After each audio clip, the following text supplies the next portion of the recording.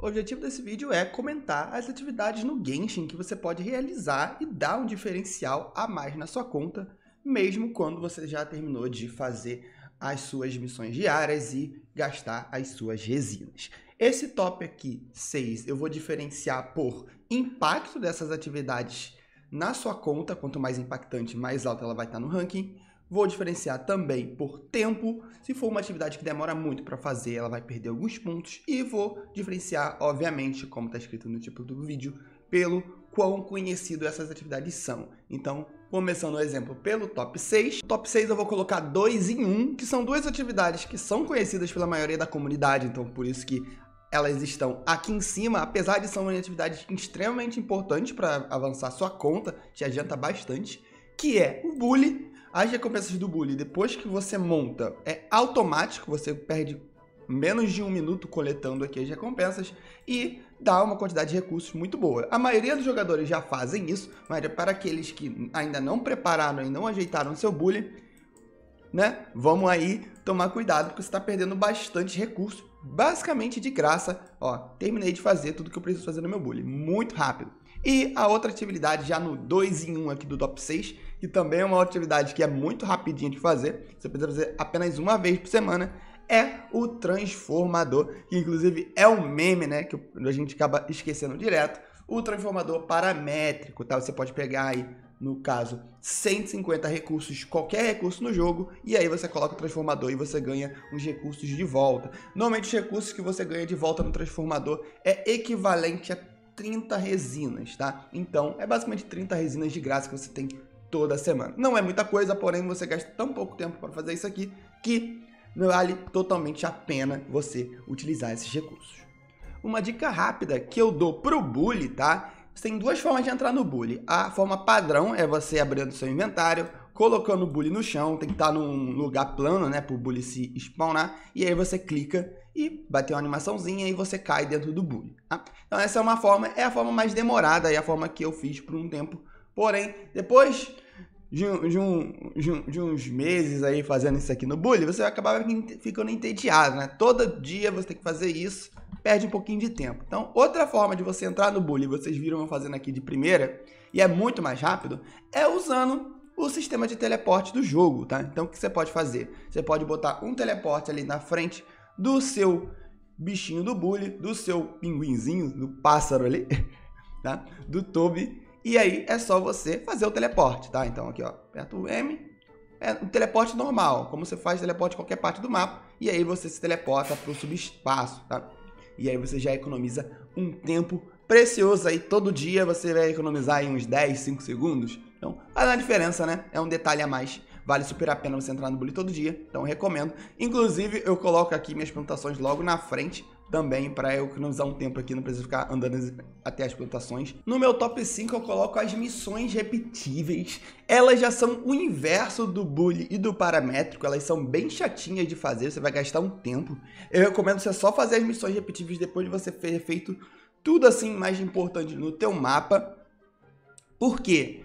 Para vocês ativar ela, elas não são certas, né? Então, por exemplo, aqui, esse aqui é o local que eu normalmente gosto de ativar as missões repetíveis. Tá vendo ali? Spalmou uma. Essas missões você pode repetir até 10 vezes em um dia, que ela ainda vai dar recompensa para você. As recompensas, a que basicamente chama atenção é a mora, tá? Então isso aqui é uma forma de acumular um pouquinho de mora todo dia. Faz diferença, tá? Como você pode fazer isso aqui todo dia, no total assim vai fazer diferença. Então venho aqui, mato o bicho, e aí depois que eu matar o bicho eu posso fazer isso aqui novamente. Esse aqui é o mais chato por causa do escudo dele. Ah! Pronto. Foi. Tá? Então, depois que eu termino uma missão repetitiva, vocês vão ver aqui, ó, a mora subindo. Esse, a quantidade de mora que você recebe é aleatória, então aqui eu recebi 1500. Então, eu posso repetir isso aqui 10 vezes num dia, então coloca aí que se eu receber 1500 nas 10 vezes, são 15 mil de moras, tá? Então, é o quê? Equivalente a umas 10 resinas, tá? Então, não é muita recompensa, mas é algo que você consegue fazer assim, um relativo tempo, né? O local que eu gosto de spamar a missão é aqui e aqui também, tá? Então, vou mostrar para vocês como eu posso resetar a missão. Resetar a missão é bem fácil, porém, o quanto tempo vai demorar é, vai depender um pouco do hardware que você está jogando, né? Se é no PC, se é no no console, enfim. Você basicamente só deslogar e logar do jogo. Então eu vou deslogar, aí eu logo de novo na minha conta. E aí, quando eu logar novamente, vai ter uma chance da missão ter voltado. O, o ponto ali que eu tô fazendo as missões repetitivas, tem outros pontos no jogo, tá? Que você pode fazer isso também, não é só esse. Esse é o ponto, meu ponto preferido, basicamente, que eu gosto de fazer isso aqui todo dia, tá? Então, vai logar, demora um pouquinho, e aí acho que tem uma boa chance de explorar uma missão aqui, porque tem três missões nessa região. Então toda vez que vocês voltam aqui... Olha, tá vendo ali, ó? O, o ventinho. Então eu vou lá, já voltou outra missão diferente. Então para fazer isso aqui eu tenho que relogar no jogo, tá gente? Então vou lá, ativo o pontinho aqui, e aí eu posso fazer a missão repetível novamente. Eu posso fazer, novamente, eu posso fazer isso aqui até 10 vezes por dia. O bom é que você economiza, é, ganha os recursos, né? Ganha umas mora quando você mata os bichos. E o principal é a mora total que você ganha quando você termina a missão. Então, isso aqui é uma forma de você ganhar uma morinha. Ah, ganhei pouco dessa vez, né? Ganhei 1.200. E no top 4 a gente tem o farm de elites, tá? Com o lançamento de Nazuma, a gente ganhou umas rotas de elites muito boas. Temos uma aqui nessa ilha e temos uma aqui nessa ilha. Eu gosto de seguir dessa ilha aqui também. O chato do farm de elites é que é um farm um pouquinho demorado, que você tem que ficar andando pelo mapa e tal. Se você tiver à toa, vale a pena, porque você ganha, além dos material dos bichos, né? E aí tem uma pequena chance aí de deles dropar uns artefatos que você pode usar como material de né, XP para você upar seus artefatos. O principal que você ganha aqui fazendo essas rotas é a mora também, tá? Então, para quem não, nunca reparou direito, tem uma quantidade de moras que a gente ganha sempre quando a gente mata uns elites. Então eu vou matar aqui os bichinhos. E aí eles vão dropar umas moras. Você pode matar até 100 que eles vão dar essas moras aqui dropadas, ó. Então eu ganhei, ó, 200 moras por ter matado esses dois maguinhos aqui, tá? Tem uma rota aqui que você pode fazer. Eu normalmente, quando eu vou fazer essa rota, ou vou equipar Sayu ou a... A Yaka. Eu usava, eu usava muito a Sayu, mas como eu peguei a Yaka há pouco tempo, então eu tô usando a Yaka, mesmo ela sendo um pouco mais lenta, né?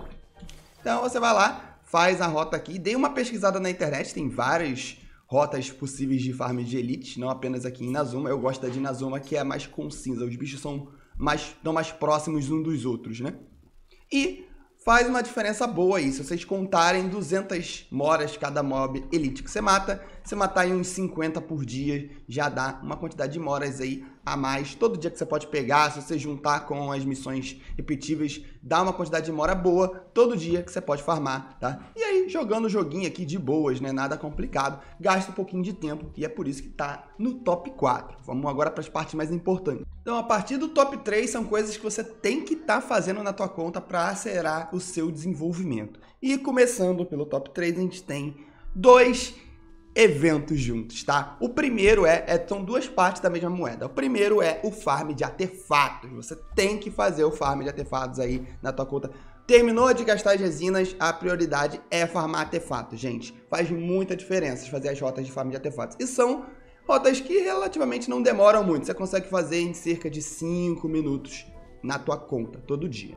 Eu não vou mostrar as rotas, senão o vídeo vai ficar muito longo, mas temos, para quem não conhece, tá? Temos alguns pontos novos em Inazuma, como aqui nesse marquinho, aqui nesse, no, umas casas que tem aqui, temos aqui nessa parte do forte, temos aqui em Tatsuruna também, no, no reator, temos aqui também, tá? Então temos alguns pontinhos novos em Inazuma para quem não, não olhou o farm de artefatos desde que o jogo lançou, além dos pontos padrões clássicos aqui em Linui, né? Como aqui é essa região aqui do canto, tá? Enfim, tem vários pontos aí que você pode farmar artefatos e faz muita diferença. Para quem não conhece, não sabe como funciona o sistema de farms, o sistema de investigação, tá? Quando você clica no, na regiãozinha, o, o artefatozinho dropa, tá? São artefatos níveis baixos, porém eles podem ser usados como XP para os seus artefatos nível 5, e aí você consegue upar eles com mais facilidade. E daí a gente parte para a parte 2 do top 3, tá? Que uma coisa complementa a outra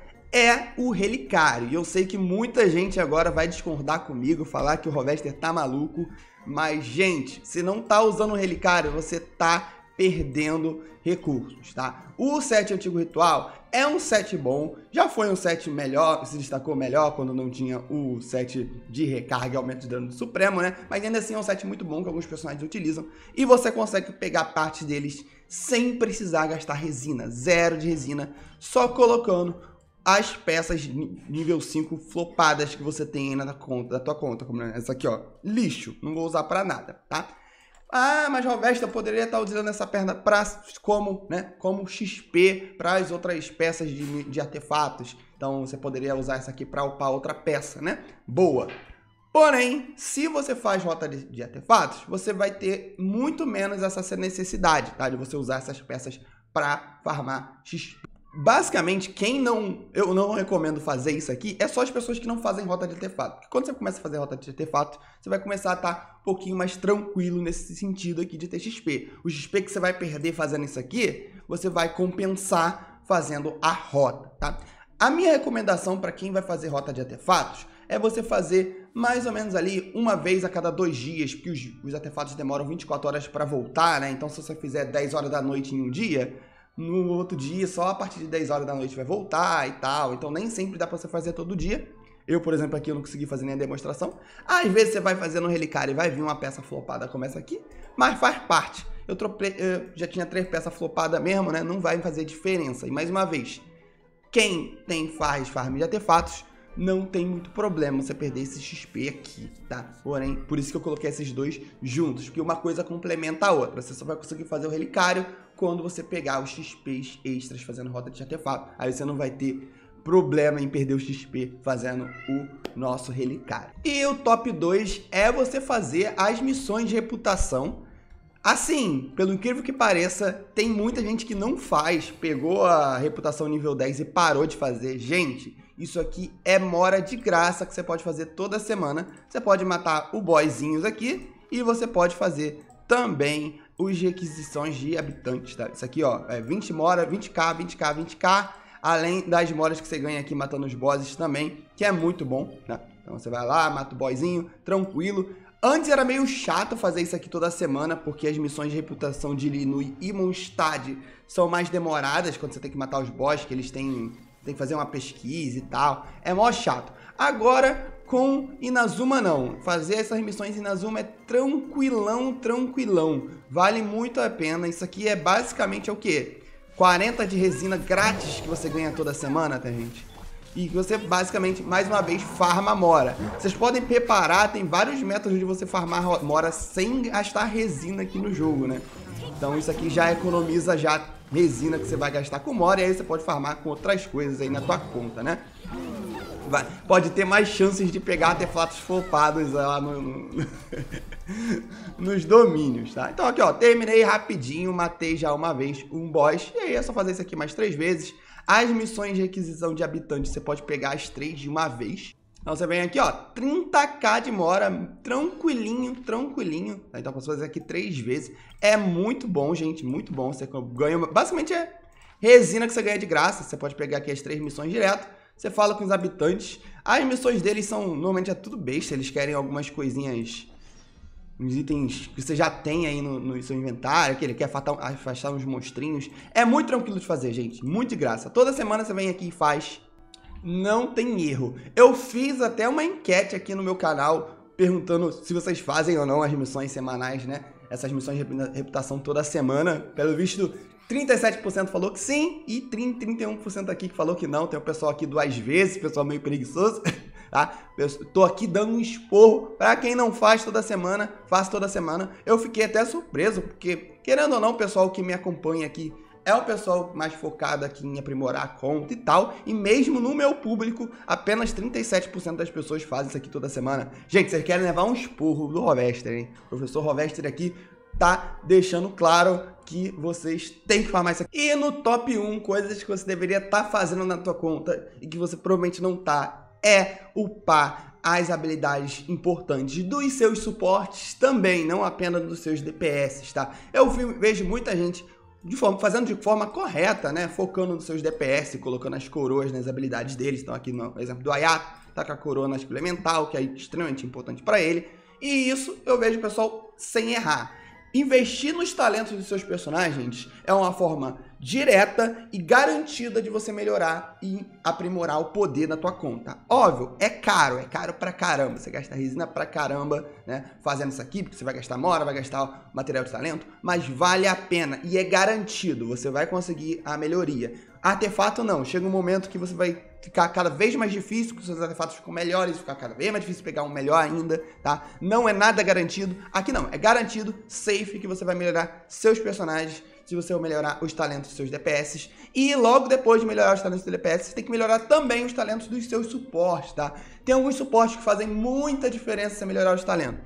Eu botei aqui a corona experimental do meu Bennett por, por causa de meme, porque eu gosto do Bennett, mas o foco desse vídeo aqui é, por exemplo, o Supremo do Bennett. O Supremo do Bennett, eu não preciso explicar aqui, quem sabe, sabe, é absurdamente forte. E o bônus de ataque que ele vai dar também aumenta quando você aumenta o talento do Bennett, tá? Então, assim, se você sabe que o Bennett é forte, porque você não botou coroa no Supremo dele ainda. E o Bennett é um exemplo. Temos outros também de suporte que são muito bons, que você tem que focar nos seus talentos também, que vai fazer muita diferença.